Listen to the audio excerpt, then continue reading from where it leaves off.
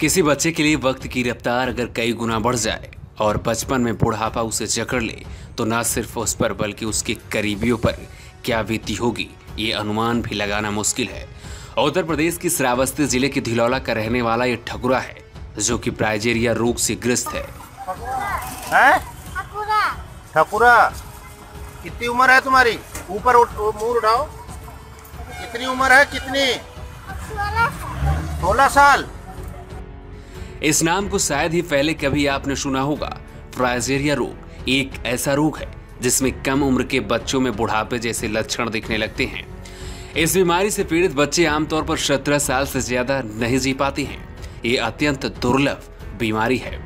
इसे हजगिशन Guilford प्राइजेरिया syndrome या हजगिशन Guilford syndrome भी कहा जाता है। नाम थोड़ा बड़ा है, लेकिन बीमारी उससे भी ज़्यादा खतरनाक।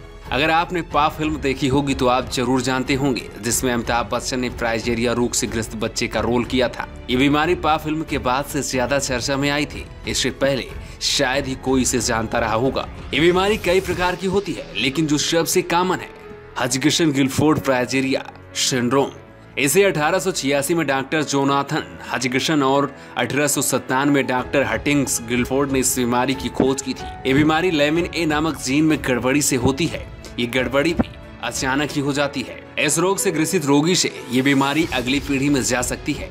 हालाँकि इसके चांस सौ में से केवल एक परसेंट ही हैं। अभी तक दुनिया भर में तिरपन बच्चों के इस बीमारी से होने की जानकारी मिली है। इस बीमारी से पीड़ित बच्चा आम बच्चों के मुकाबले तीन गुना तेज़ी से बुढ़ापे की ओर बढ़ता है। शरीर ढीला पड़ जाता है, बच्चे की स्किन का रंग पीला पड़ जाता है और स्किन काफ़ी पतली हो जाती है। शरीर मोटे तौर पर हड्डियाँ, स्किन ही बाकी रह जाती हैं। सिर शरीर से अनुपात में काफ़ी बड़ा हो जाता है, बाल उड़ जाते हैं।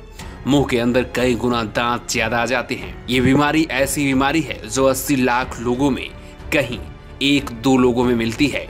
Bureau report New Times. अगर ये वीडियो आप यूट्यूब पर देख रहे हैं तो हमें सब्सक्राइब करना मत भूलिएगा।